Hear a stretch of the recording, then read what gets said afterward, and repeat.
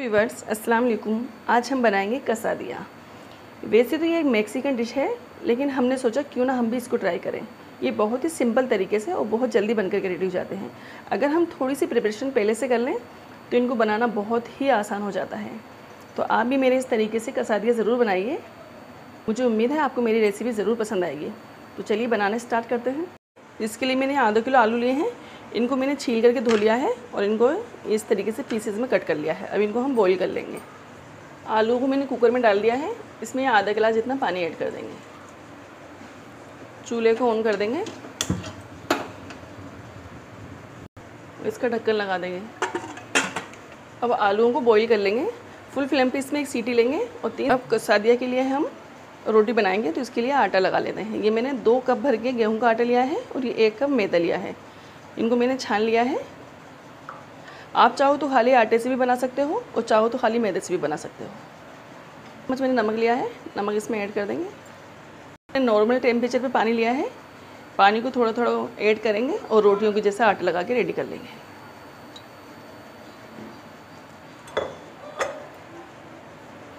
ध्यान रखें, आटा ना तो ज़्यादा सख्त हो और ना ही ज़्यादा पतला हो। जैसा आटा हम रोटियों के लिए गूंदते हैं, उस तरीके का आटा लगा करके रेडी कर लें।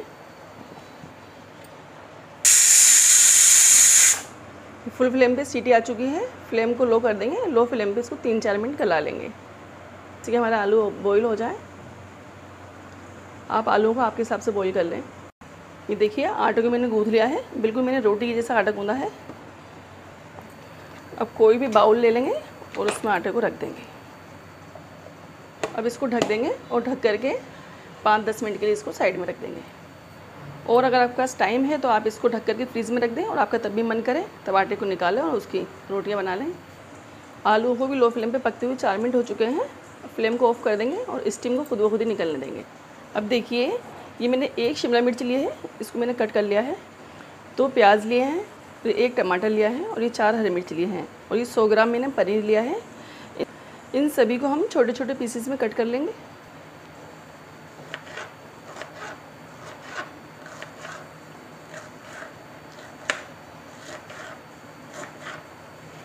ये आलू भी बॉईल हो चुके हैं। मैंने इनको चने में निकाल लिया है। अब इनको हम ठंडा कर लेंगे।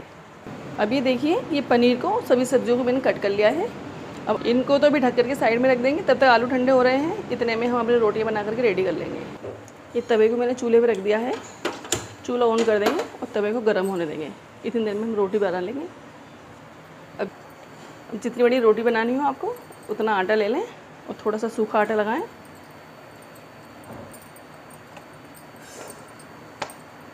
इस तरीके से पेड़ा बना लें। और सूखा आटा लगा करके रोटी को एकदम पतला बेल लेंगे। अगर आपको रोटी को बेलने में थोड़ी प्रॉब्लम आ रही हो तो बीच में सूखा आटा लगा लें और इसको एकदम पतला बेल लें।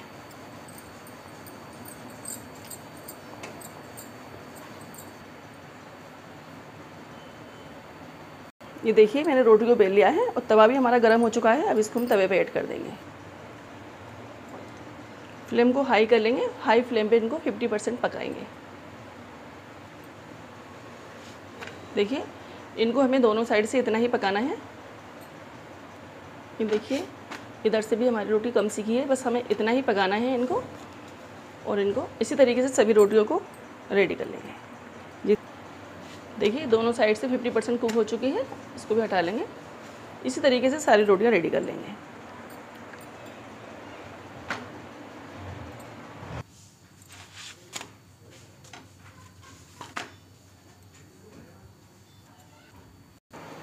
ये देखिए, ये कसादिया के लिए मैंने रोटियों को बना करके रेडी कर लिया है। अभी देखिए, हमारा आलू ठंडे हो चुके हैं। अब इसमें मैं आधा चम्मच जितना नमक ऐड कर दूँगी। नमक आप टेस्ट के हिसाब से ऐड कर लें। आधा चम्मच ब्लैक पेपर पाउडर लिया है, इसको इसमें ऐड कर देंगे। आधा चम्मच ओरिगेनो लिया है ओरिगेनो को भी इसमें ऐड कर देंगे। या आधा चम्मच मैंने कुटी हुई लाल मिर्च लिए हैं, मिर्चें इसमें ऐड कर देंगे। मसाले आप कम ज़्यादा आपके हिसाब से कर सकते हो। जो भी आपको पसंद हो वो डाल लें जो आपको पसंद नहीं है वो नहीं डालें। ये देखिए, मैंने थोड़ा सा अदरक का टुकड़ा लिया था, इसको कद्दूकस से घिस लिया है और इसको भी इसमें ऐड कर देंगे। अगर आपको अदरक पसंद है तो अदरक ज़रूर डालें, इससे बहुत अच्छा सा फ्लेवर आता है। अब इन सभी को हम अच्छे तरीके से मिक्स कर लेंगे।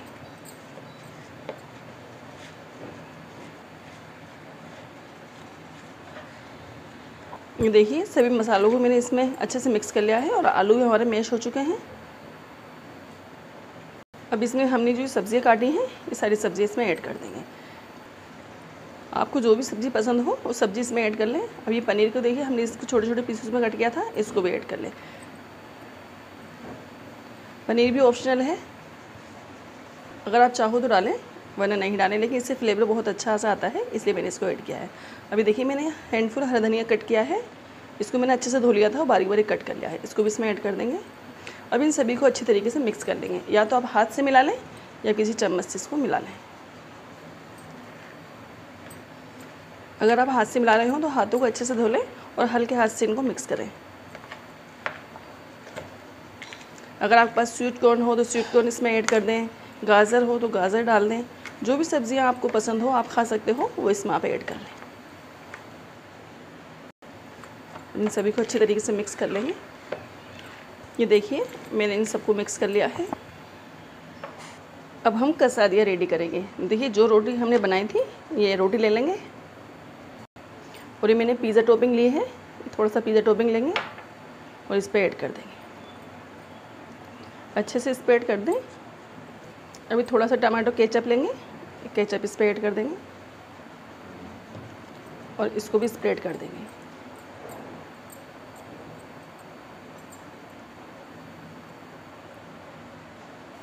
अब ये जो आलू का मिक्सचर हमने रेडी किया है, इसको लेंगे और इसको इस पर अच्छे से स्प्रेड कर देंगे। ये मिक्सचर को मैंने इस पर अच्छे से ऐड कर दिया है। अब ये चीज़ की स्लाइस लेंगे।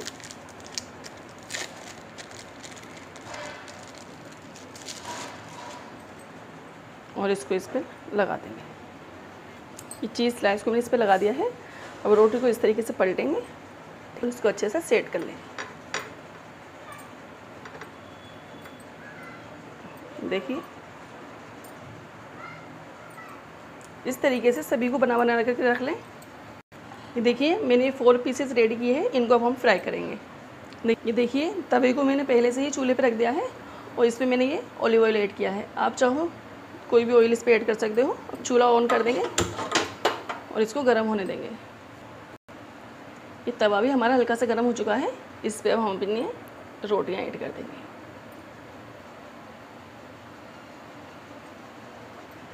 फ्लेम को मीडियम कर देंगे मीडियम फ्लेम पे इनको फ्राई करेंगे।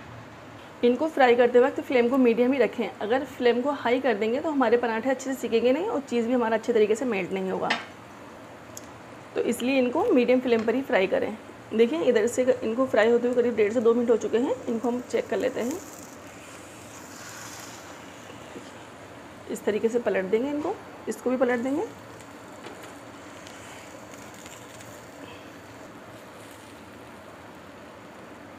और दोनों साइड से अच्छा सा कलर आने तक इनको फ्राई करेंगे। इनको इधर से फ्राई होते हुए भी करीब डेढ़ से दो मिनट हो चुके हैं, इनको भी एक बार चेक कर लेंगे। देखिए, अभी थोड़ी सी और कसर है।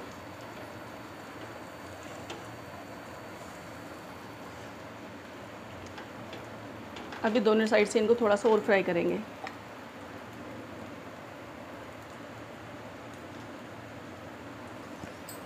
इनको फिर से पलट के चेक कर लेते हैं। देखिए, कितना अच्छा से इस पर कलर आ चुका है। इसी तरीके से इसको भी चेक कर लेंगे इधर से भी इसको ऐसे ही फ्राई कर लेंगे।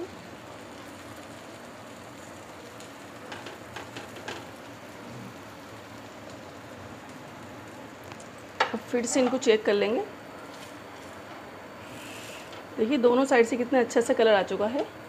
फ्लेम को तो एकदम लो कर देंगे और इनको प्लेट पे निकाल लेंगे।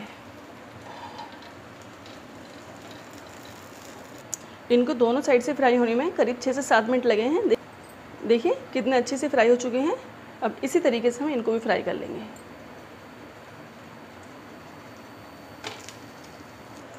अब इसी तरीके से मीडियम फ्लेम पे दोनों साइड से इनको भी फ्राई कर लेंगे। दूसरी साइड से भी इनको करीब दो मिनट हो चुके हैं। इनको भी चेक कर लेते हैं। देखिए, इधर से भी फ्राई हो चुके हैं। फ्लेम को ऑफ़ कर देंगे। और इनको भी प्लेट में निकाल लेंगे।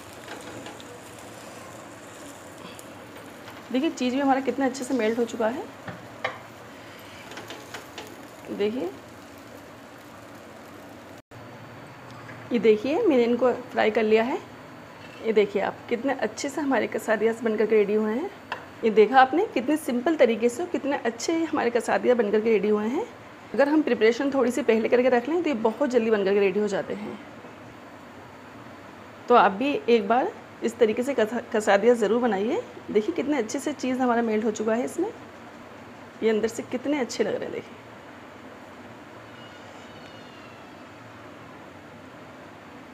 तो इस तरीके से आप भी कसादिया ज़रूर बनाइए। मुझे उम्मीद है आपको मेरी रेसिपी ज़रूर पसंद आएगी।